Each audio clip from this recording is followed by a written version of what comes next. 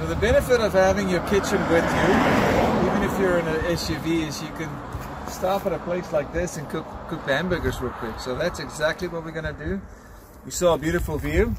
We thought, hey, this would be a great time to have lunch. And yeah.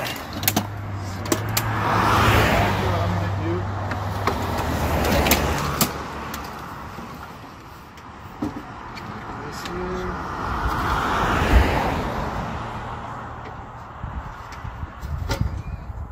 And I'll hook it up.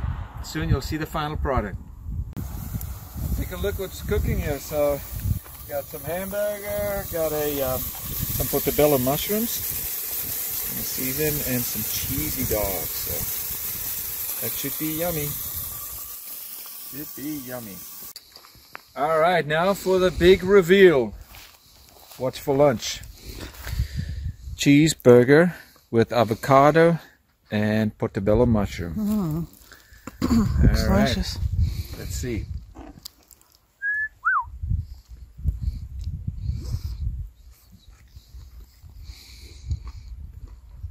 mm-hmm Super.